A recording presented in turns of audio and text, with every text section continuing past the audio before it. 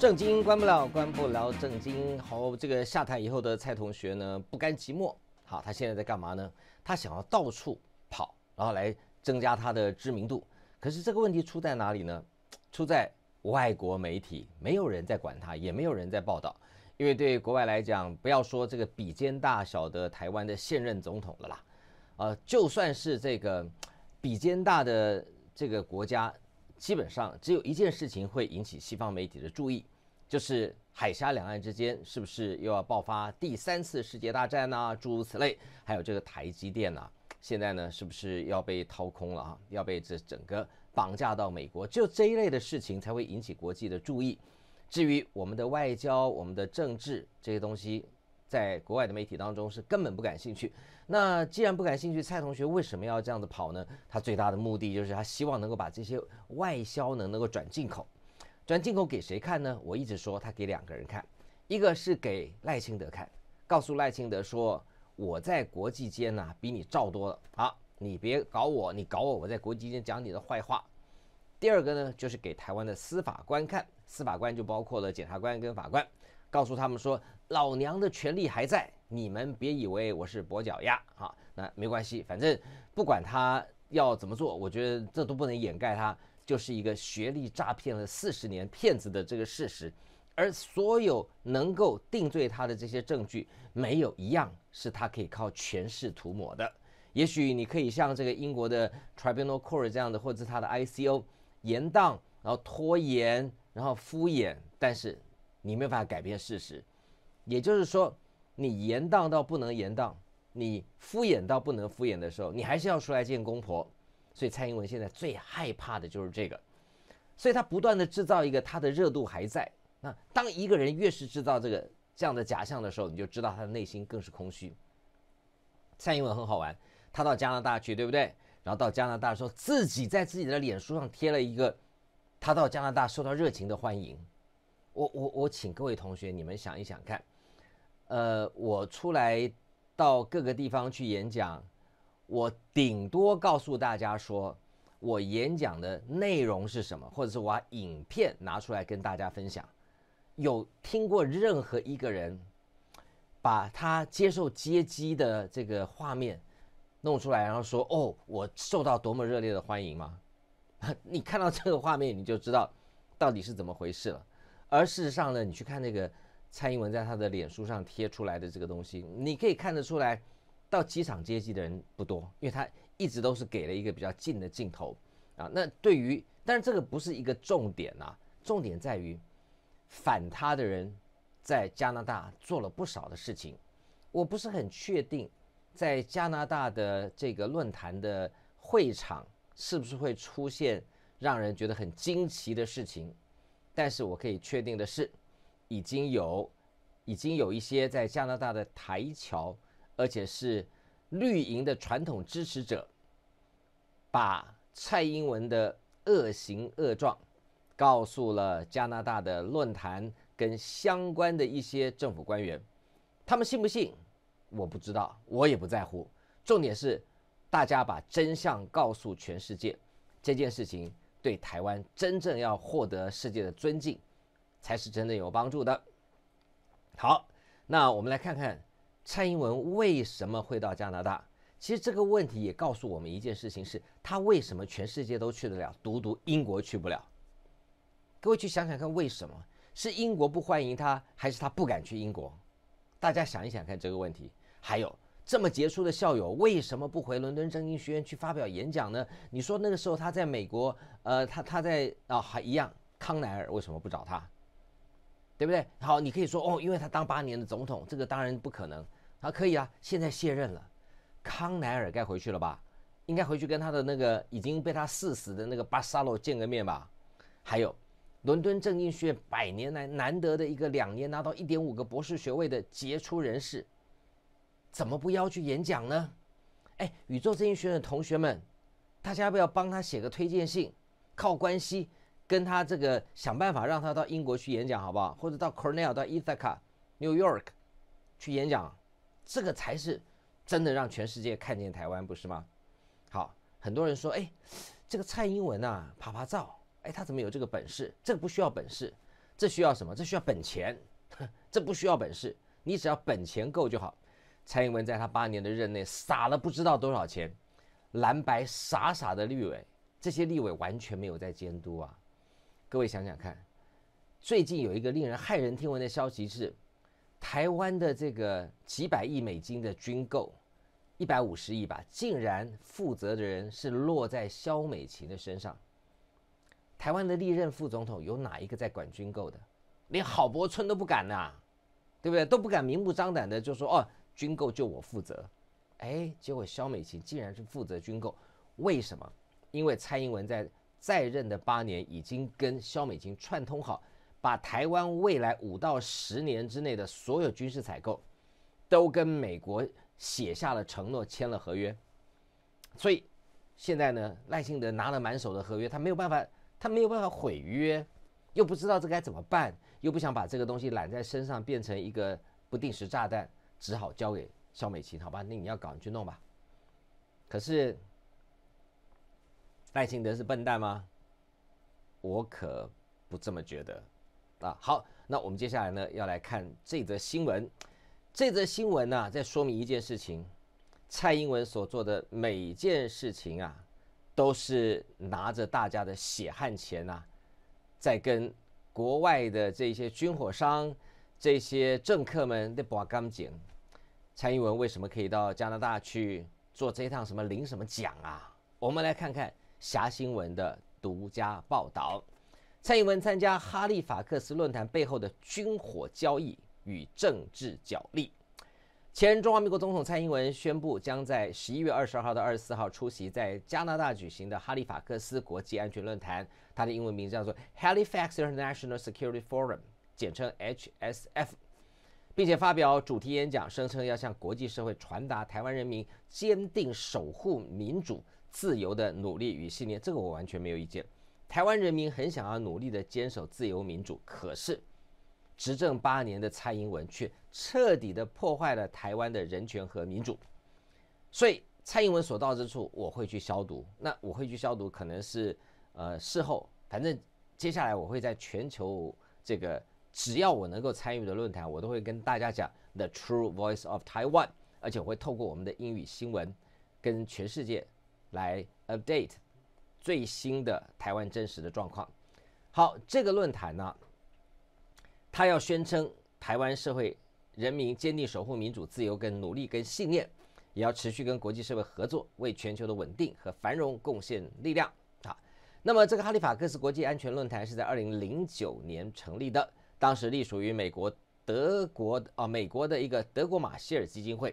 这个论坛呢是二零一一年成立的，成为一个独立的组织。加拿大政府是哈利法克斯国际安全论坛的一个资助者。到二零二零年，已经向该论坛提供了超过两千五百万加币的资助，差不多相当于呃六七亿台币吧。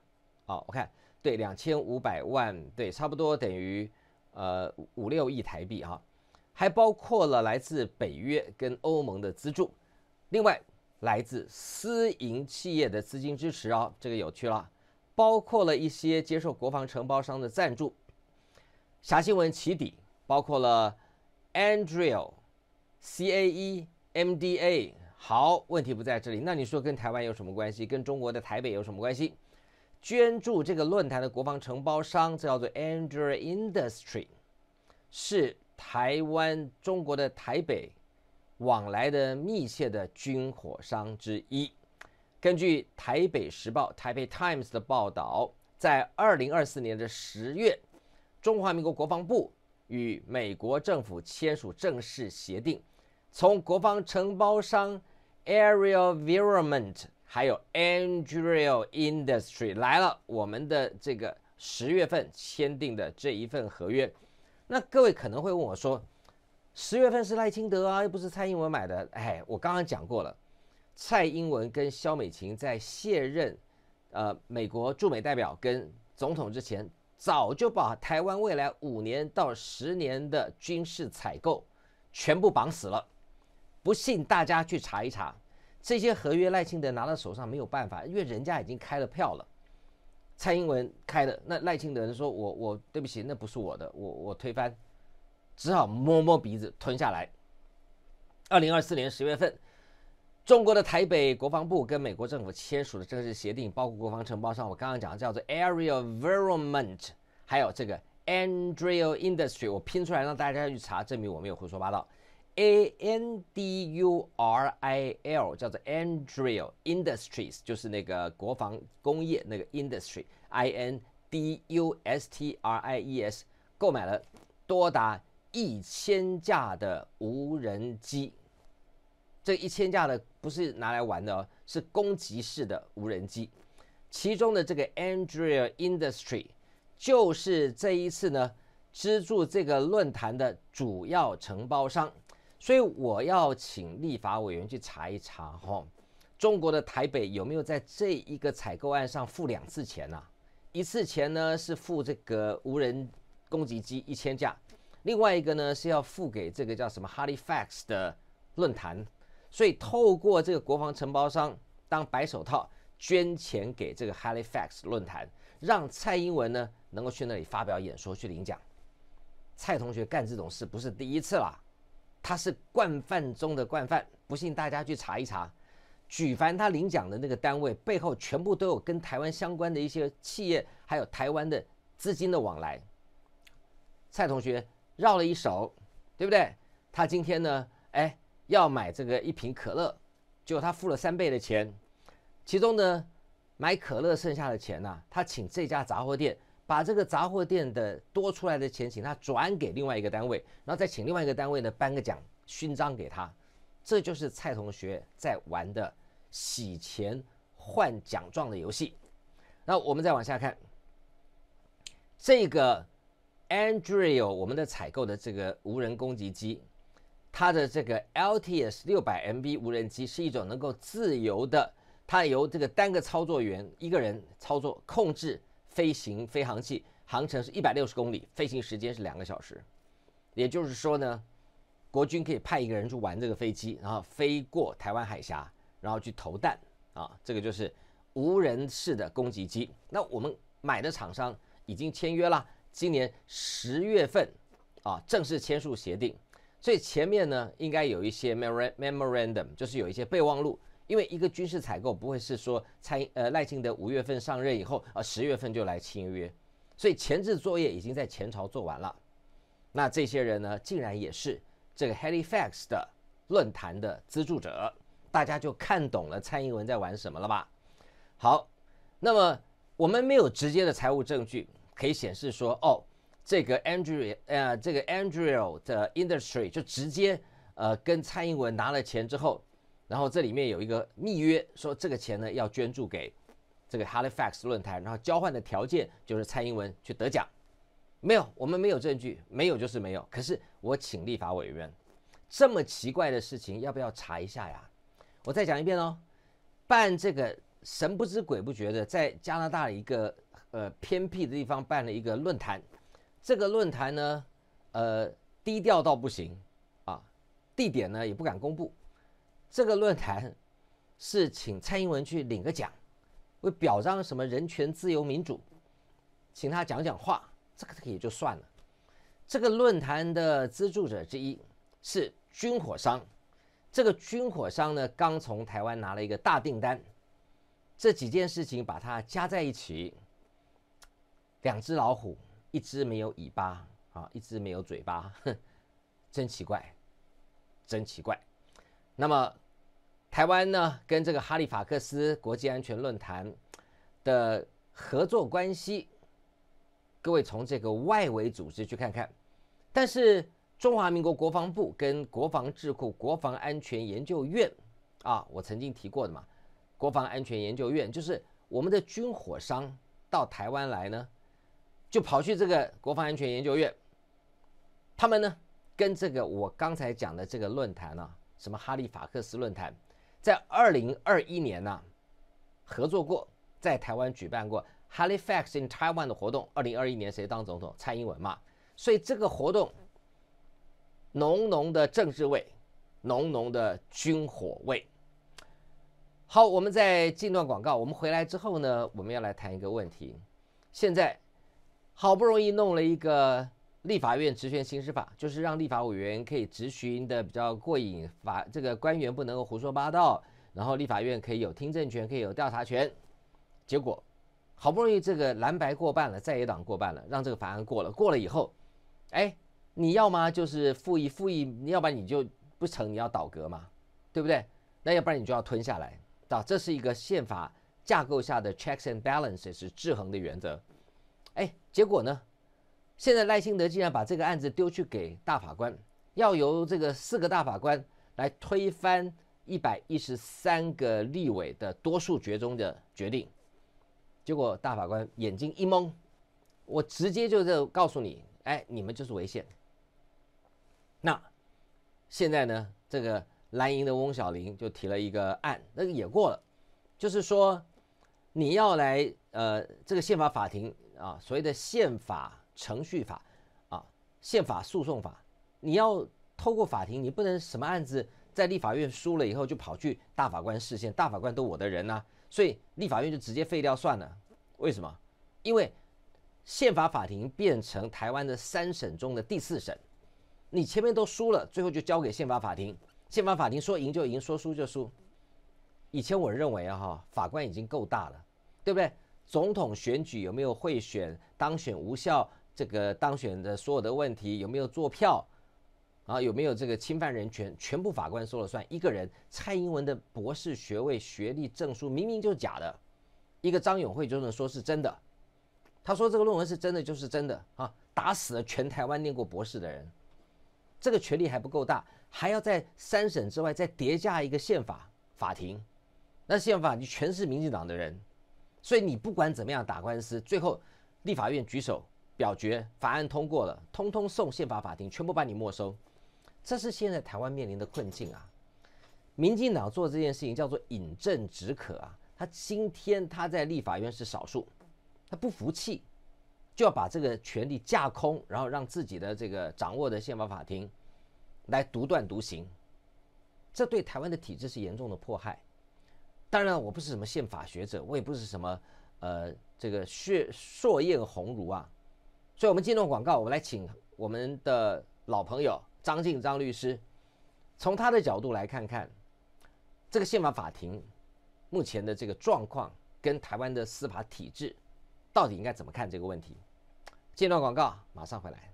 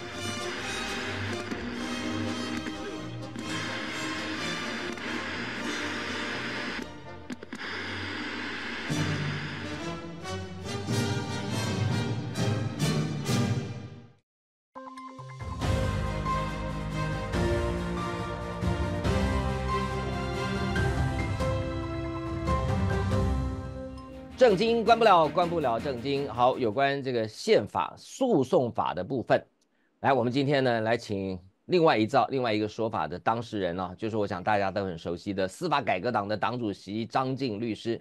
张静律师绝对有资格谈这件事情。第一个，他当过检察官，他当过法官啊，当过主任检察官，当过庭长，他呢还当过第一届呃蔡英文主政下的司法改革委员会。司改司法改革，哎，国事会议的委员，国事会议的委员的代表，最后他怒辞这个委员啊，那一幕我想大家都记忆犹新嘛，因为他发现这是一个幌子，民进党执政根本没有要改革司法，连司法改革国事会议里面那个表决都让蔡英文说我表决到我高兴为止。所以令人失望那一幕我记得很清楚，我也是因为这样子跟张静律师结结缘，不是绝缘。我在 呃民事的时候，我主持正经看民事，那我对司法的非常有有想法，我也对司法很有多很多的负担。我在台大当教授的时候，我就成立了司法库斯拉奖选拔，那时候我把茶叶罐直接寄到那个检察总长严大和的办公室啊，我寄一箱给他。好，我 因为我是因为郭瑶琪的案，郭瑶琪的案子的冤案呢，我才一脚跳进来的。那我跟郭瑶琪不认得啊。那的确是个冤案呢，我完全不认得啊。嗯，我也不认得他。我到我因为这样子跳进来，我才发现台湾的司法如此黑暗。只凭着人家说我送了一罐茶叶给张静，好，张静收下了茶叶，我茶叶里面有两万美金，就凭这样一句话，这个部长的一生的清誉啊。就这样子被毁了，在牢里关了五年呐。嗯，我觉得台湾的司法太荒唐。哦，类似的案子一脚跳入。他一个赖丁府的情形，基本上就凭着一个人说，他一个人的账上有记说给了给了赖丁府钱，他原来是河川局的局长，啊，然后后来他也表明说，其实是他赌输了钱，啊，为了要跟股东交代才这么写，哎，写是他写的。然后呢，就没有其他任何的证据，而他也否认，啊，后来也否认说他有送钱，但是就以那个账的记录，就把赖丁福，啊，判刑确定，也去关了大概有有五六年哦，也有差不多，啊，对呀，所以这冤案非常多在台湾啊。你你说一个人收钱，你要有金流啊，对不对？就是没金流啊。像赖丁府的案子没清流，郭耀奇案子应该没清流。对我当时我记得我挺郭耀奇这案子，是我看完这个案事件，我觉得太荒唐。嗯，如果茶叶罐里有两万美金，嗯，那你这两万美金你能怎么用？难道能够去通化街打香肠把它用掉吗？你一定不是存进美金账户，存进台币账户就是汇到国外嘛？嗯，要不然就放在家里嘛？那你去搜啊，听说郭耀奇家被搜的这个像这个炸弹炸过一样，那就是没有啊。那请问？那这两万美金跑去哪里了吗？两万美金在台湾，台湾是不能拿美金用的，你一定要经过银行嘛。那或者银楼私下汇兑。总之，请问两万美金跑去哪里？好，这个案子是题外话，其实它就是让我一脚跨进司法改革。那个时候我还没有出来主持节目呀，我在台大当新闻所所长的时候，我就出来办这个活动，然后去力挺，就是司法改革。所以我当然，我觉得对张静律师来讲，他对我来讲是。当然是亦师亦友嘛，对不对？他为了论文门，他吃的苦头不比我少啊。那而且我看到他为了司法改革所愿意担负的那个承担呐，嗯，我觉得无论如何我是很敬佩吧。好，今天我们要来看这个宪法诉讼法，我当然有我自己的看法，不过等会我再跟这个张律师请教哈。呃，你你觉得这个案子最大的问题出在哪里？最大的问题就是。立的根本不承认，啊，不承认他违宪，反而说这个蓝白立委所提出的，呃，所谓的翁版宪法诉讼法的修订本，啊，说是违宪的，啊，那在我看来，翁版一点都不违宪，啊，倒是。宪法的法庭的一一三年宪判字第九号，针对立法院职权行使法里面的判决很多都是违宪违法的。嗯，啊，这是我的我我的观点，啊，比方说监察院、行政院到总统，他们有什么资格来提这个申请宪法法庭来宣判立法院职权行使法是违宪？你根本不够资格提。嗯，宪法法庭。就应该要驳回他们的申请，反而说，啊，应该要以不受理，说你们你们没有资格提起这个诉讼，啊，那理论上唯一有资格提起的，从从这个法律的角度，只有立法委员本身，但是这里面又要想到，你今天。第一次表决输了，复议表决输了，然后申请，然后才来申请宣判这个所谓的立法院职权行使法违宪。那如果照这样子下去，以后所有的法案只要民进党不爽的，通通都可以由立委去去申请释宪，这样对吗？尤其经过复议的案子。啊，你你愿表决不服输啊，而且啊，在立法院的表决是大家公开看得到的。如果你这个不服输就可以申请释宪，以后所有你不服输的案子都可以释宪啊，那在野党的监督就变得毫无意义了，或者在野党想要立的法律就变得毫无意义了，因为所有都可以宣告它违宪。嗯这是我坚决反对的原因。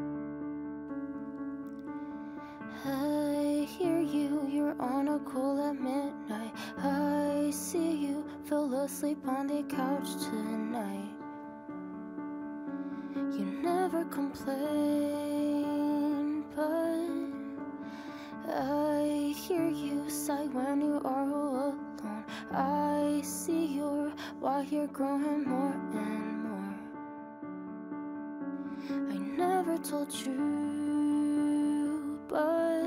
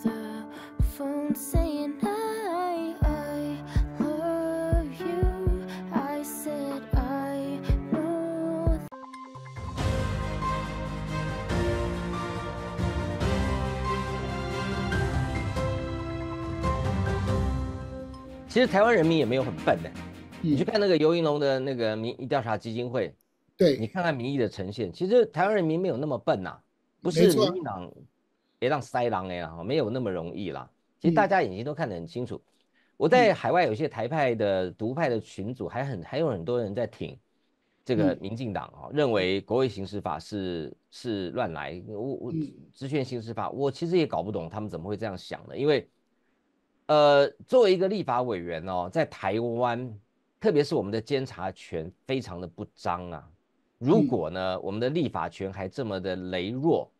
没有调查权，没有听证权，没有藐视国会。其实大家不要忘记哦，今天美国哦之所以，你看哦，呃，Elon Musk 有这么大的企业，他出来担任这个政府效能部，啊，还包括了美国的教育部长，呃，国防部长，很多人都富可敌国啊，啊，最近的商业部长，他呢有五百亿台币，哎，台币吧哈，他有大概五百亿台币的身价，他是一个很大的财务公司的负责人，呃，持有百分之六十的股份，那我就问我的美国的朋友说。他们这样子不用担心他们有利益冲突的问题吗？Elon Musk 他的一句话可能就影响了 Tesla 的股价哦，他在政府部门当中的作为，可能就影响了他自己企业的股价。他说：“你放心，因为美国的国会监督的非常严格，啊，可以叫他来，可以叫他干嘛，可以叫他说这个就是美国制衡的关键。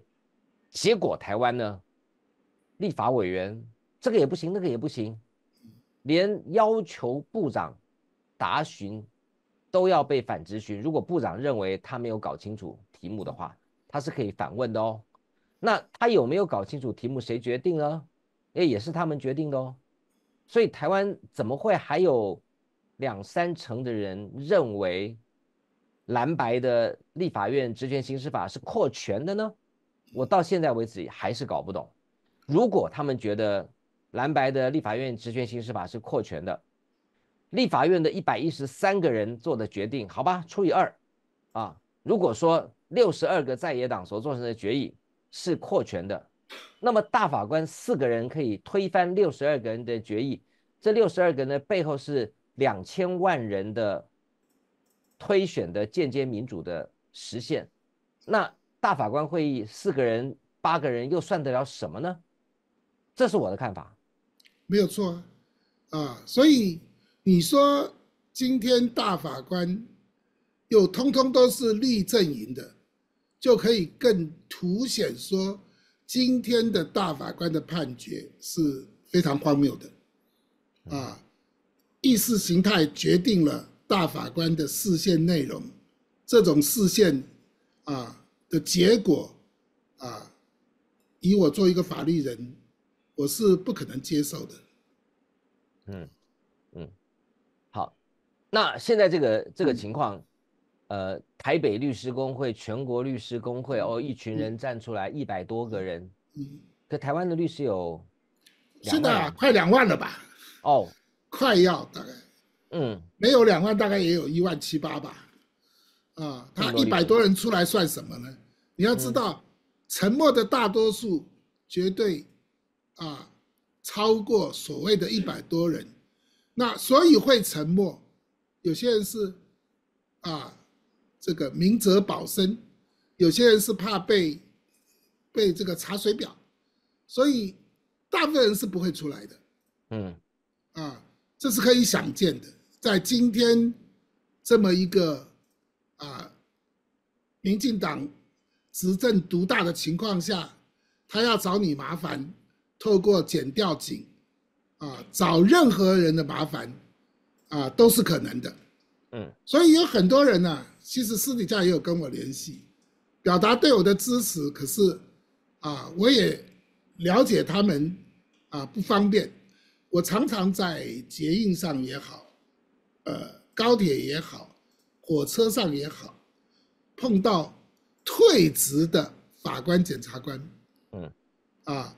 有些我根本不认识，啊，那他们当然认识我，就跟我讲说他们支持我，那我就问说，哎，你你大名，啊，他们说，哎，这就这就不要讲了，啊，你可以想到，他们跟我交谈的过程中，连名字都不愿意说，只只大部分都讲说，啊，学长就不要，我我名字就不要讲了，大概就是这样子，你可以想到他们私底下是支持的。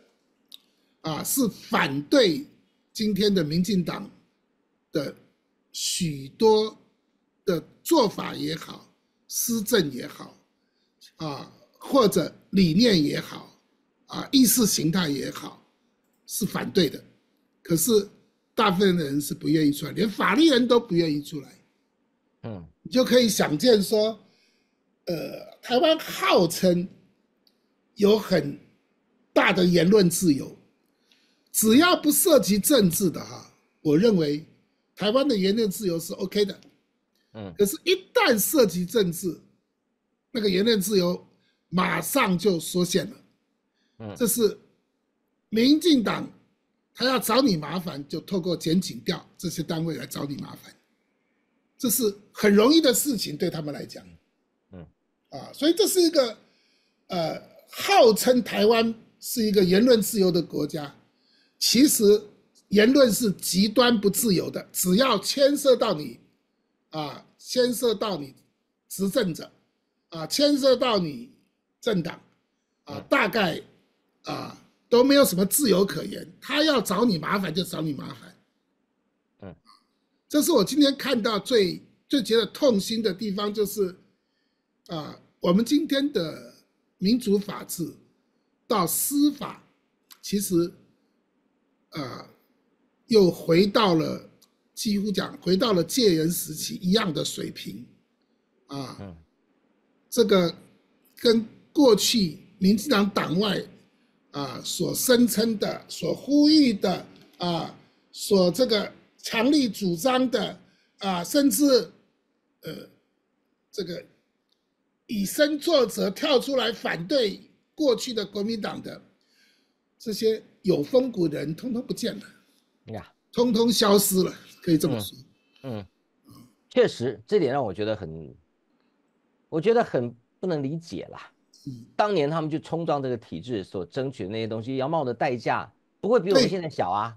对。可是经过不过就二三十年，怎么搞的？那他们当年的那个一身的风骨跑哪去了？好，我要问一下这个，所以应验了一句话嘛：绝对的权利就绝对的腐败。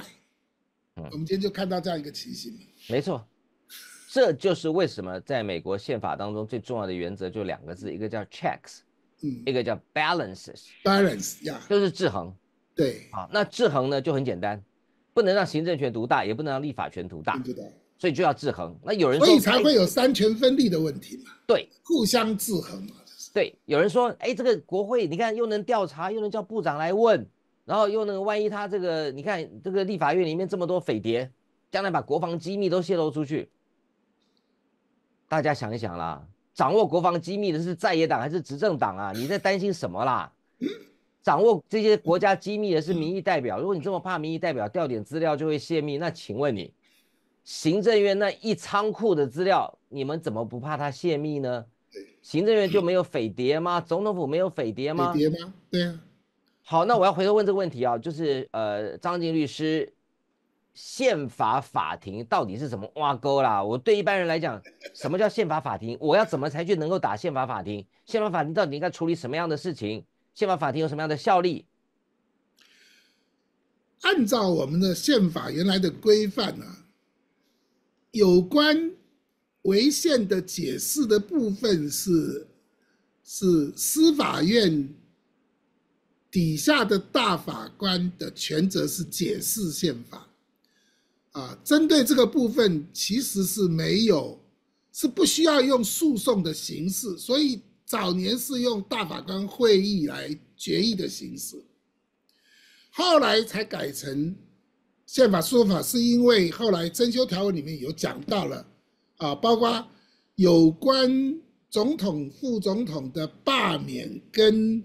解散政党需要透过宪法诉讼，所以宪法诉讼法就产生了。可是宪法诉讼法产生以后，它所能处理的范围远超过我刚刚提到的总统、副总统选举罢免啊，罢免的部分跟跟解散政党的部分，原来应该是大法官会议解释的部分。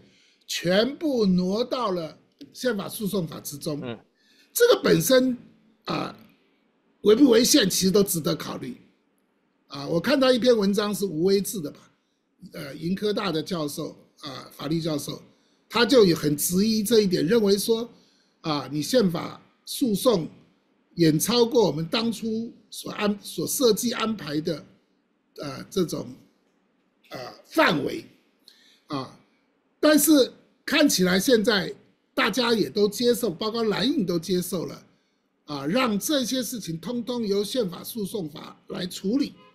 但是谁能够有权利申请？这就是我刚刚一开始就讲的，有些是没权利申请的人来申请的时候，那你宪法法庭要做第一个审查的所谓的审查庭，要做一个筛检的动作，哪些人是不可以来提啊宪法诉讼的？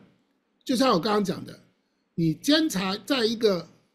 呃，立法院职权行使法有没有违宪？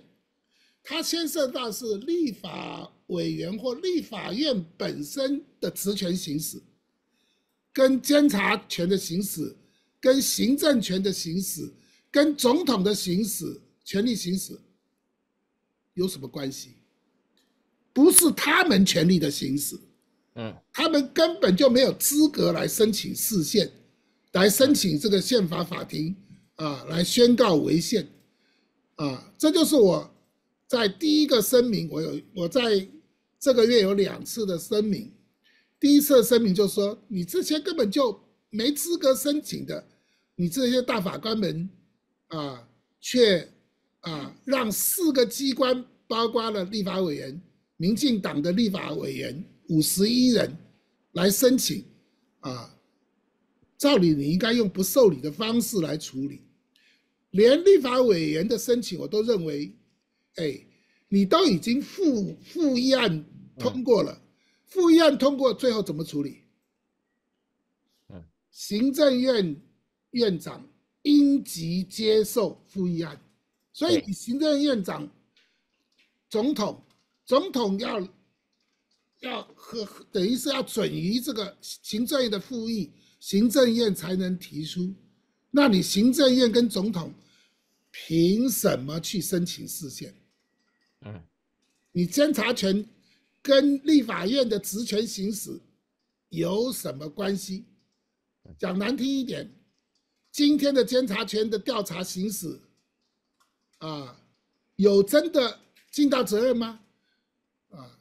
啊，还是占着茅坑不拉屎？更何况。立法院如果能够职权能够调查，并不影响你监察权的调查，也不影响你检察官、法院司法权的调查。嗯，这各自行使各自的权限，啊，你凭什么来申请释宪？啊，所以这就是我认为大法官绝对违法的这个原违宪的原因。啊，嗯。像我现在这样子，嗯嗯，现在这样子发展下去，嗯，呃，会变成什么样的结局？就是我担心的嘛。以后所有的在野党通过的法律案，只要民进党不爽，不合乎民进党的党意，不合乎民进党的利益，他都可以透过啊民进党的立委来申请释宪。嗯。那目前看起来，大法官就配合他们宣告违宪。那立法院的法律立的有有何用处？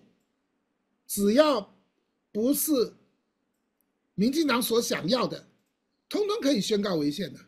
嗯，目前情形就是这样子啊，啊，至少从职权行使法、立法院职权行使法看来就是如此啊。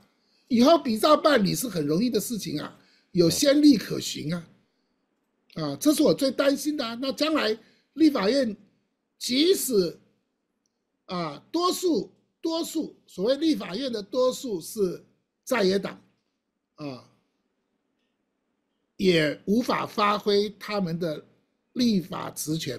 对，因为司法院等于本来司法院是要监督立法院，没错。他同样也要监督总统，要监督啊，这个行政院等等。问题是，监察院根本不做嘛，啊，嗯，所以就会变得立法院的调查权就会变得，我认为就是可贵的。所以，呃，民进党的创党元老吧，林卓水就说。国会如果没有调查权，这不这怎么说得过去嘛？对，而且过去民进党也一直坚持，啊，几十年前的民进党也认为，啊，国会议员要有调查权，对，怎么现在通通，啊，这个完全呢跟他们当初所倡导的所谓的啊民主进步党的党纲也好，理念也好，现在都完全不符了。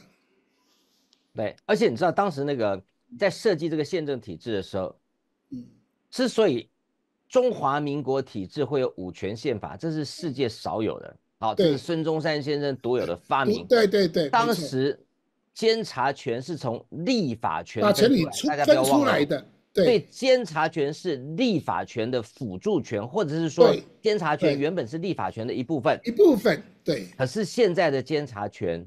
却变成了行政权的一部分，这是一个非常离谱的东西。离谱的事情，也就是说，原本这个监察权是用来帮助立法权，所以当年早期监察委员是民选的，对，是要选举的，后来就变成今天的啊，由总统来提名，就官派嘛，啊，就变成官派的了，嗯，啊，就变成官派的了，啊，所以尤其在官派之下。这个立法院的调查权更有必要。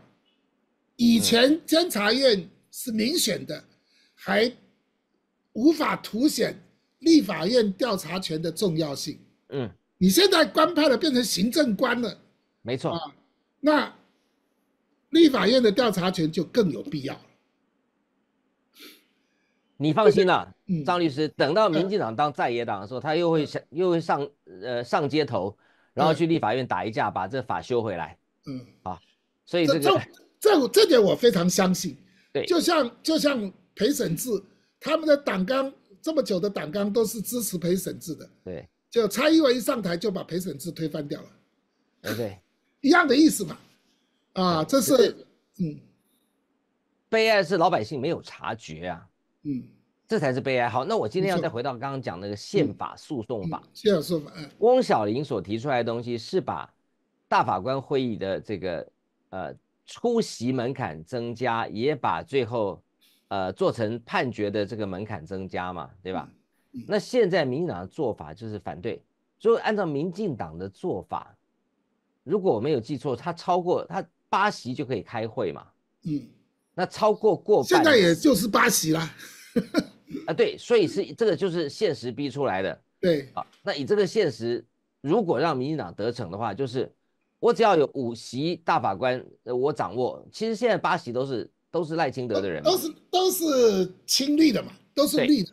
对对，那因为因为这个大法官里面有有两个是我以前第一届检察官评鉴委员会的专家学者嘛，一个詹森林，一个谢明阳，一个谢明阳，呃，还不蔡明成。蔡明成对，那谢明阳好朋友啦，嗯，只是我没有想到，当他们呃掌握权力之后，是这样在看待台湾的民主，这个倒是我觉得我很惊讶的部分呢。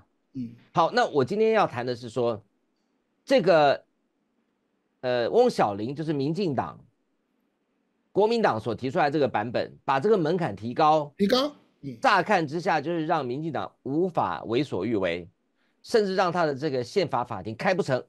对，如果你不愿意妥协，你就开不成。我个人觉得这就是民主政治的制衡嘛。对呀，就是民主政治政党之间就是要妥协啊。开不成不是坏事啊，与其让他们开得成，搞出这么些违宪判决，还不如开不成呢。我也实在没想到，我我脑袋里面实在想不出一件事情，说宪法法庭开不成，对老百姓或对这个国家的体制会造成什么伤害？我一时两刻我真无法答。嗯，我真的答卷答不了啊。你知道那个许荣奇他们曾经去做去申请视线，视线什么东西？因这个全世界少有，搞不好仅有把诽谤罪仍然放在刑事罪里面的。对，美国国务院连续三年的台湾人权报告中，指明台湾的媒体仍然受到刑事追诉。没错，啊，就差没讲彭文正跟张静的名字，他其实很 好。所以许荣奇呢，这是我们的好朋友，他就去视线。嗯，结果直接不受理，直接就不受理了。对呀，对呀。那他根本懒得理你啊。你他你们这些升斗小民对他来讲，他根本不屑一顾。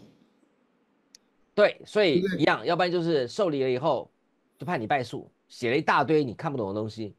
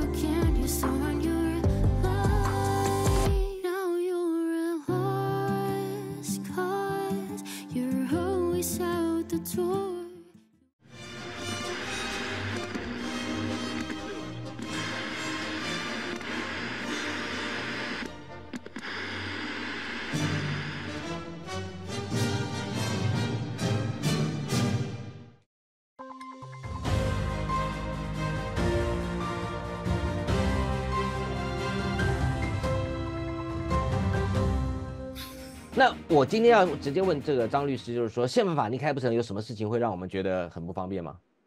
嗯，我也不觉得有什么特别不方便。你看今天他们提出的所谓“翁版违宪”，就说你会让这个呃宪法法庭开不下去，所以呢就会影响到人民的基本权。人民的基本权的维护啊，我们的民事诉讼、刑事诉讼，甚至行政诉讼，本来都应该要维护人民的基本权。就是因为这些诉讼没有办法维护，甚至官官相护的结果，才会到宪法的层次。可是你要了解，人民的基本权如果要提出，必须要。站在反政府的一方，绝对不会是亲政府的一方来提宪法诉讼，说：“哎，我们政府要维护人民的基本权呐。”可是你看今天跑出来的律师们，我就以万国好了，万国法律事务所过去赖浩敏当过司法院院长，范光琴当过司法院。秘书长黄红霞当过司法院大法官，他们就是一些司法帮的律师，站在跟司法的政府机关、跟司法机关是站在一条线上的。你认为当视线的时候，他是做人民的诉讼代理人？还是当政府机关的诉讼代理人啊？他既然这么维护宪法法庭，维护官权，维护官权不遗余力的时候，他会去倾听老百姓的声音，接受老百姓的委任，去跟政府对抗。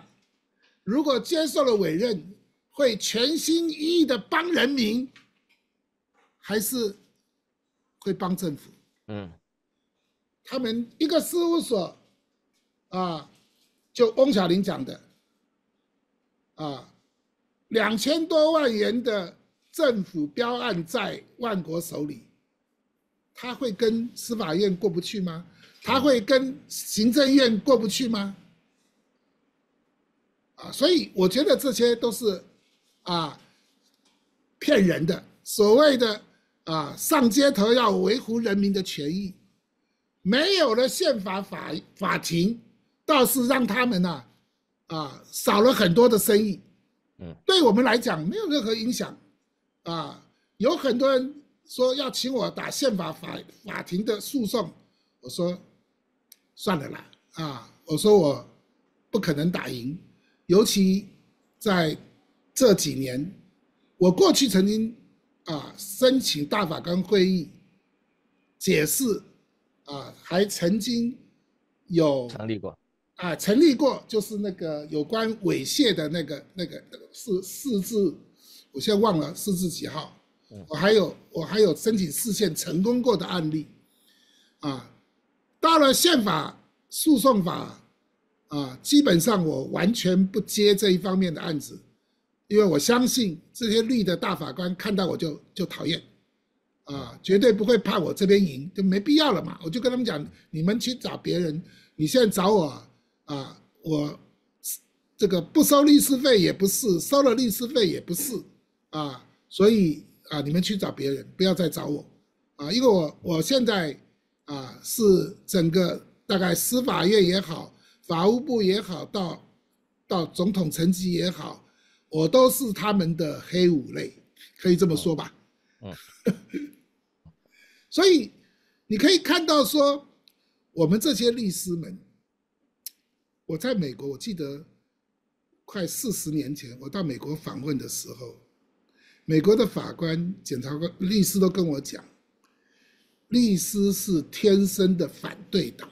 没错，所以。这几十年来，我基本上是不接政府的案子，不，尤其是诉讼案子。我有接过政府的案子，就是营业秘密法的制定，啊，经济部拜托我，啊，写出台湾第一版的营业秘密法的草案，后来三读通过，成为营业秘密法的这一部法律。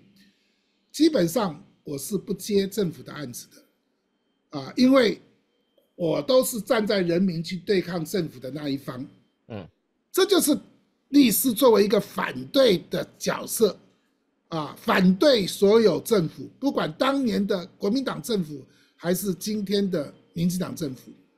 我在国民党政府的时代，我也曾经跟这些绿营的律师朋友们一起上街头，穿着律师袍，那是反郝柏村军人干政。的那一次，嗯，啊，那一次我是跟绿营的朋友们、律师们是站在一起的，但是今天我跟这些绿营的律师们是完全不愿意跟他们啊合伙的、结伙的，啊，因为我愿意继续做个反对党，嗯，反对的角色。啊他可是我觉得台湾有很多律师，啊，早已成为帮着帮着这个政府啊，来运用他的所谓的专业知识欺负老百姓。嗯，这个不止在宪法诉讼法里面显现的出来，行政诉讼法更是啊，可以看的啊，这个。台湾的行政诉讼基本上百分之九十九都是官官相护的诉讼，老百姓很难打赢诉讼。啊，对，对不对？就算打赢，也不是就直接赢，是发回，特别是税法的案子就发回，嗯，一再的发回。对，所以最后能真正赢的案子哈，嗯，一个就是那个太极门的案子，那个对对对对对，二三十年的。大冤案呢？对，没错，就是中天被关台的案子。对，那不打了赢了二三十场官司，可是完全没有任何回复，跟没有一样。你你费就算赢了，又回到中天啊，又又对不起，又回到 NCC，然后 NCC 再判你，又还是对你不利，然后又来一个诉讼，哎，不知意于何底。啊，这个没有，这个没有意义呀。啊，台湾的诉讼法有很多都必须要做根本的变革，尤其是行政诉讼这个部分。嗯，啊，我个人是根本认为应该要废掉行政诉讼，让它回到啊民事诉讼法，啊，让它回到民事诉讼，啊，这个叫做民事行政的一元化。目前美国大英美法系的美国。大陆法系的日本都没有所谓的真正的像台湾、像德国一样的行政法院，嗯，他们就由最高法院来处理嘛，嗯，啊，没有一个什么最高行政法院，他们就是最高法院在处理，啊，包括大法官我都认为可以废掉，为什么？我们的大法官并不是最高法院的法官哦。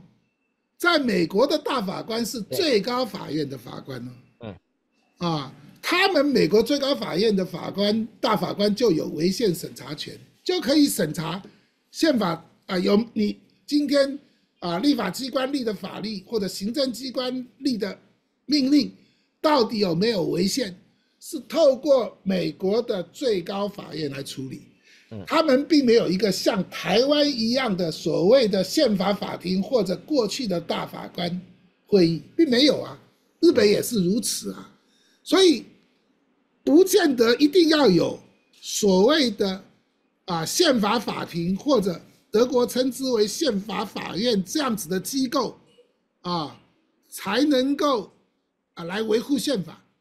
最高法院就可以啊，嗯啊，所以。我们司法改革党的主张是一直都是把五个最高阶的啊司法机关整并成单一的最高法院，哪五个呢？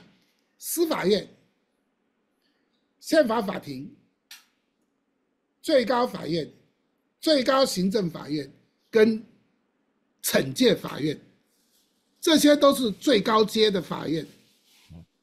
这五个法院其实可以把它合并起来，成为单一的最高法院，一样可以处理所有目前这五个机关要做的事情。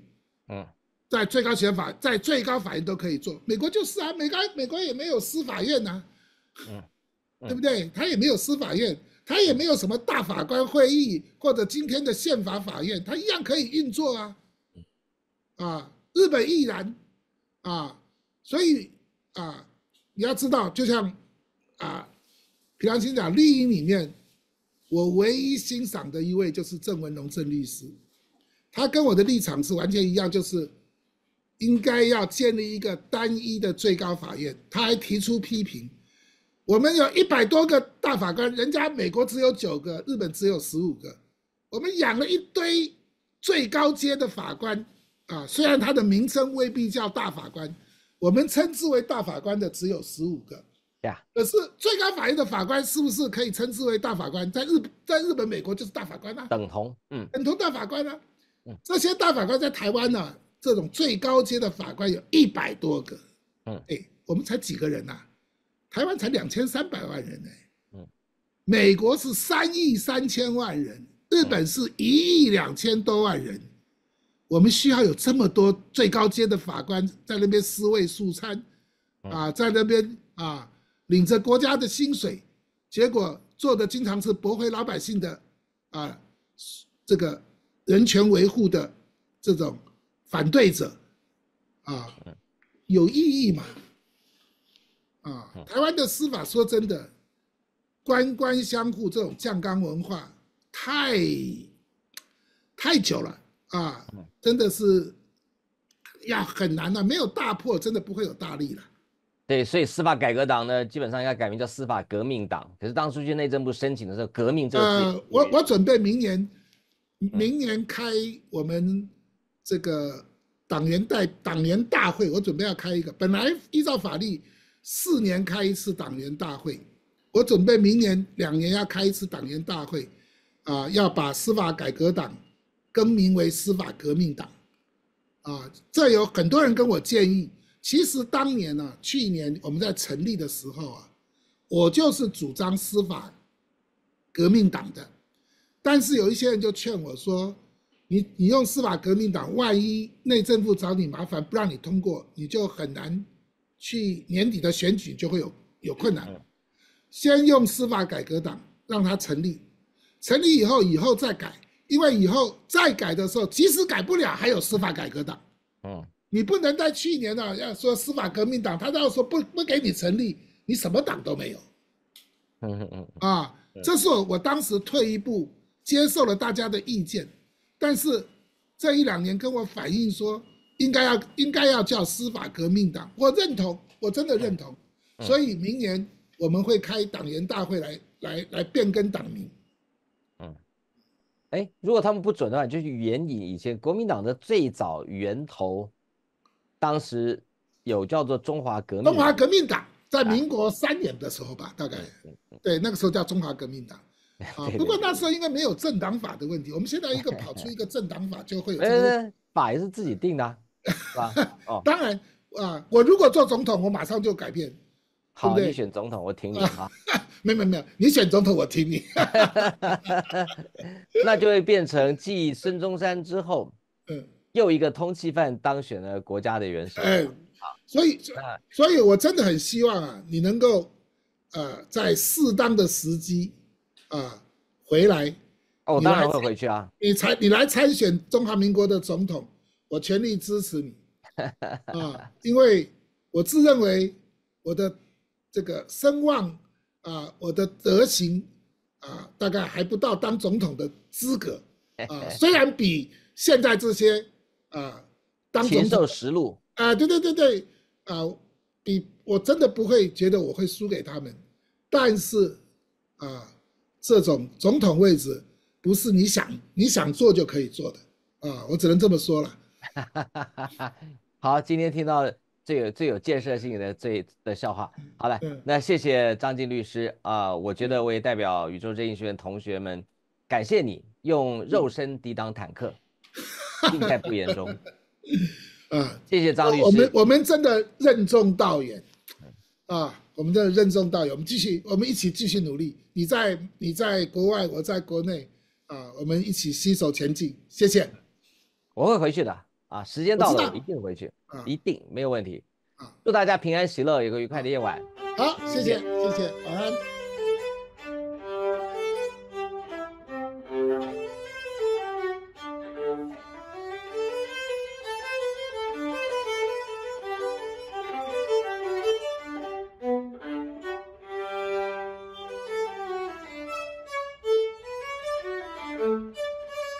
喜欢我们的影片，请在下方点下订阅按钮，也别忘了开启旁边的小铃铛。谢谢大家。